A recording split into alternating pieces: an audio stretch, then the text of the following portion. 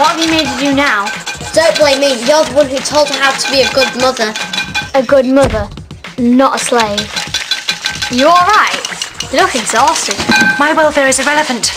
All that matters is my child. You had any sleep at all? Sleeping is selfish. I must stay awake to look after my child. Eating is selfish too. All my food must go to my child. I know what you're thinking. This is a perfect chance to record the effect of hunger and exhaustion on the alien body. Okay, I don't know what you're thinking. And we've got to stop her. But she's happy, making me happy. What can I do? Oh, that's the type of attitude I like. Hello. Oh, hello, Mrs. Johnson. Just a surprise visit. but I can see you're taking perfectly good care of these children. Well, of course I am. They're the most important thing in my life. Oh. You've just caught her at a bad time. I mean a good time. She's normally much weirder than this. Would you like to lick the spoon, darling? Check on Brian. He, he's a lunatic. He's filled the living room with sponge cakes. Now, in order to cut the cake into slices, Sophie will have to turn northwest, north-north towards the cutlery drawer here. That's when we strike. First, I cause a diversion. Oh, hello, Sophie. That's a very fetching spatula you have there. Then you sneak round the back, whip in and...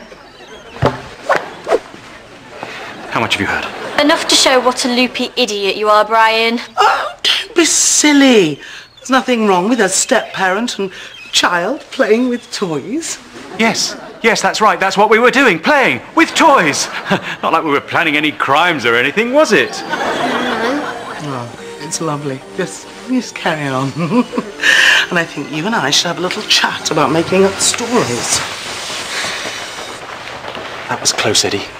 Almost too close. Shall we call off the robbery? No! We've been planning this job for almost 15 minutes. It's too late to call it off. No, it's time to put our devious plan into operation.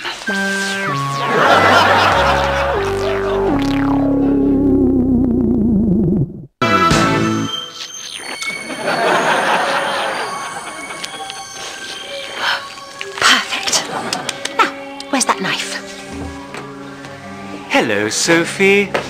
Oh, that's a rather spatching fetula you've got there. You keep your hands off this cake. Every crumb of this is going down Dan's throat, even if I have to shove it down myself. All right. My plan to steal the cake has failed. Oh, Sophie, you're just too clever for me.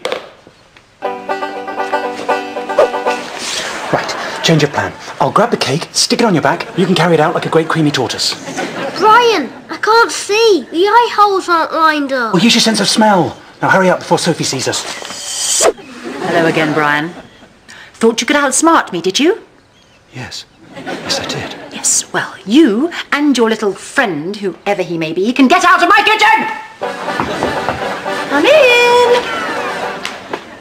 Hello, Mrs. Sophie. Is Dan in? Hello, little man, friend of my boy. Danny, your little friend is here to play. Have some of that cake? No, Don't mind her. Let's go. no, no, don't go. Everything you need is here. Sit down and have a slice of cake. Oh, look, here's a nice big spoon. Or you could just stick your face right in it if you like. Dan? We were so close, Eddie, so close. I could almost taste it. What did it almost taste of? Cake. Never mind. We'll just have to give up. Never. Criminal masterminds don't give up. We need a new plan. There's no point. As long as Sophie's around, we've got no chance. That's it. The only obstacle between us and the cake is Sophie. To get to the cake, we need to remove the obstacle. Do you understand what I'm saying? Uh, no. That's right. Eddie, you're going to have to murder Sophie. I visited your foster parents as you asked, and they seem a perfectly caring couple to me. Got any rope in here? Sharp knives? Rat poison? No? You see? Always making sure that you're safe. You should count yourself lucky. Lucky hmm. that you came on the one day of the year in the one minute when they were almost normal. It's quite obvious to me that you're attention-seeking, making up stories to sound important. I'm not. And if you won't take us back into care, I'll leave here on my own. Jacqueline, Jacqueline, why do we have to go through this every time? Oh, right, right. Sophie? What's the matter? Dan didn't want my cake. Do you like some? No. I made it especially for him and he just ran off. Don't worry about Dan. He's out on his so-called date. His what? Called what? Let's just say there are some things a mother can't do for their children. Oh, but Becky, I have to do everything, otherwise you'll go back to the home. He can't do everything. Dan fancies that girl, Selena. That's something he has to sort out for himself. I am the boy's mother, and I shall provide his every need. Miss Johnson! Yes. I mean, no. I mean, Uh, well, I, I just wanted to say goodbye to Mrs. Johnson. she's not here. But she wanted me to tell you that she loves the children very much and she'd do anything for them. Absolutely anything. Sorry, who, who are you? My name is Selena. Oh. And I, I mean Sophie, I mean Mrs. Johnson, loves the children so much that she knocked me unconscious, popped me in a big sack, and brought me back here for Dan. Are you serious? Absolutely. Well, you've got to get away. Come with me. She'll never let me go. She loves the children too much. If I try to escape, she'll just knock me out again. Oh, I think you can hear her coming right now. hello? Yes.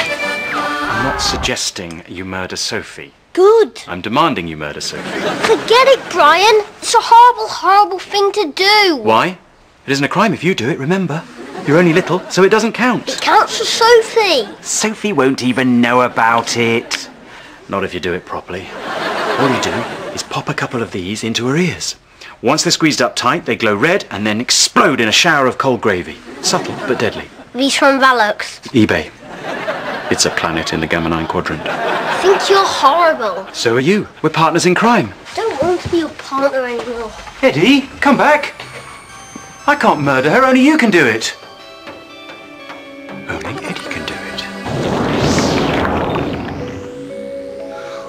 Watch out, Sophie.